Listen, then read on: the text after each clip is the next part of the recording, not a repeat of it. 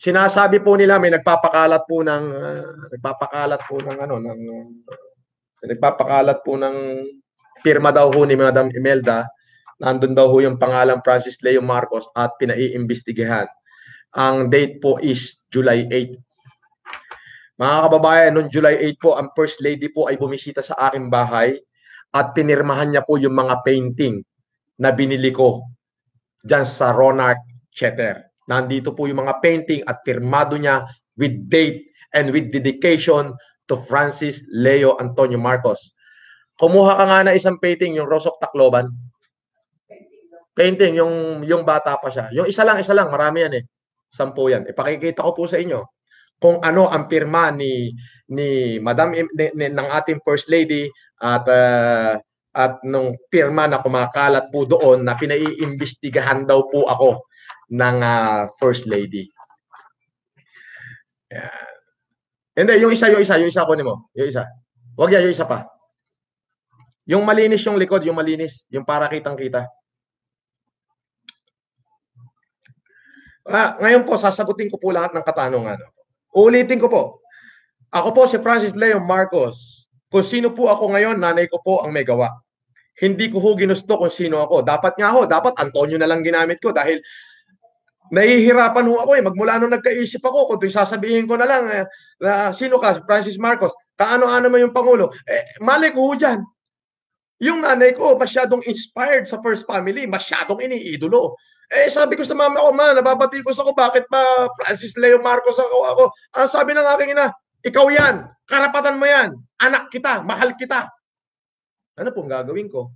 Eh, nanay ko ho ang nagsasabi. Eh, kung gusto niyo, tanungin niyo ho ang aking nanay. Pero yung sasabihin niyo, alam niyo, sa totoo lang ho, nung na, ako si Fra, ish, ang hirap lang ho sabihin. Ito po, para masagot ko na yung mga tanong. Ito po ang painting ni, ni, ni First Lady na kung saan po ay masyado pong maganda na yung pintor po nito ay bulag na so uh, na-appreciate naman po niya. Kaya po yung lumalabas na sulat dyan, ito po ang pirma ni First Lady kung ninyo pong makikita. Ayan po ang pirma, Imelda Romualdez Marcos. Imelda R. Marcos. Ayan po ang date niya, ang laki. Signed Ah, signed by Imelda R. Marcos on July 8, 2019. Kaparehas ho nung date nung araw yung pinakalumalabas dyan sa YouTube na ako raw ay pinaiimbestigahan. ah, number 22, Nightingale Street, Green Meadow, Ugong Norte, Quezon City, Philippines. In her appreciation to Francis Marcos and Bernard Chong. Ayan po ang kompletong pirma ng First Lady. Ito po siya. Maraming painting po ito.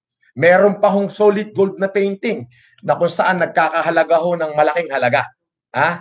Pero nandito lang ho. Kaya may gold ho talaga ako. Yun ho totoo nun. May ginto kami. Pero, I mean, meron akong ginto. Pero hindi ko ho binebenta. Pan-display lang. Ha? Ayun po. At uh, ngayon, saan galing akin itong pinamimigay? Eh, naku po, eh, ako ho'y nagbenta ng mga ari-arian. Uh, nagbenta po ako ng mga ari-arian. May record po yan sa land registry. Nagbenta po ako ng uh, 50 hektarya last year. At nitong taon naman po na to, nagbenta po ako ng isang property na worth 40 million. Uh, binayaran ko lahat ng capital gain tax yan. Bayad po, kaya malinis po yung aking pera siya naman pong inuubos ko ngayon at pinamimigay. At ako po yung nananalo rin minsan sa sugal dahil malakas po akong mag-poker. Pero at the end of the day, yung puso ko po is para sa taong bayan. Huwag po kayo mag-isip na ako po yung namumulitika. So, yun po, sinagot ko na po yung mga tanong.